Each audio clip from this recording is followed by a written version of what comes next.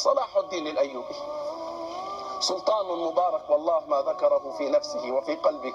حرقة على الإسلام أحد ما ذكره الآن أحد.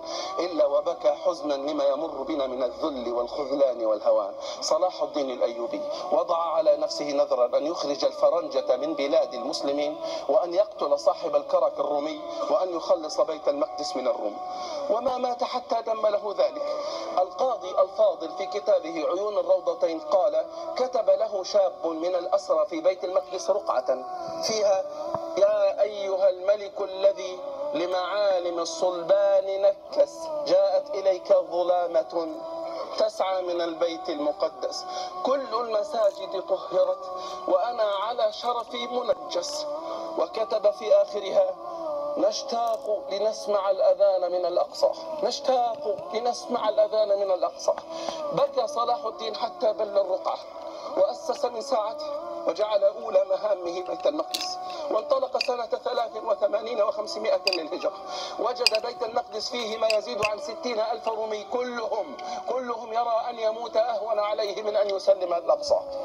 بدأ القتال. غنت غنت سيوف المسلمين ورماحهم في معارك تلو المعارك واستمر الحصار حتى علم الروم أنهم يذلون لصلاح.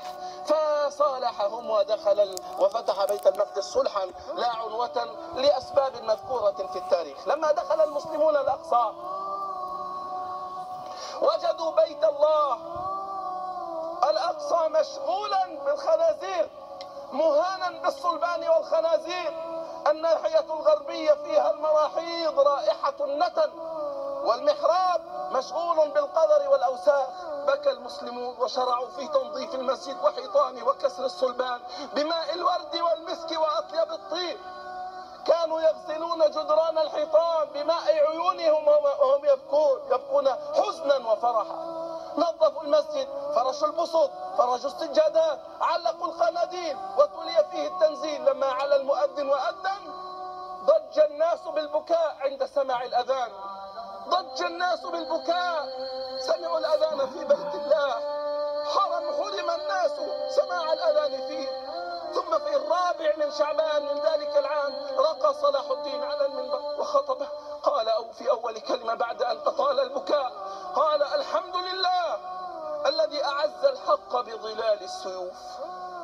الحمد لله الذي أعز الحق بظلال السيوف. ولم تزل القدس محررة إلى أن جاءت أم الشر بريطانيا وأباحتها للصهاينة. لما دخل هنري جورو إن كنتم تسمعون به قائد معركة ميسلون المشهورة.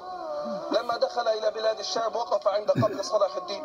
ركله برجله وقال ها قد عدنا يا صلاح الدين. ها قد عدنا. نعم لأن الناس نقضوا عهد الله. فسلط الله عليهم غيره وأخذ بعض ما في أيديهم. ها قد عدنا يا صلاح.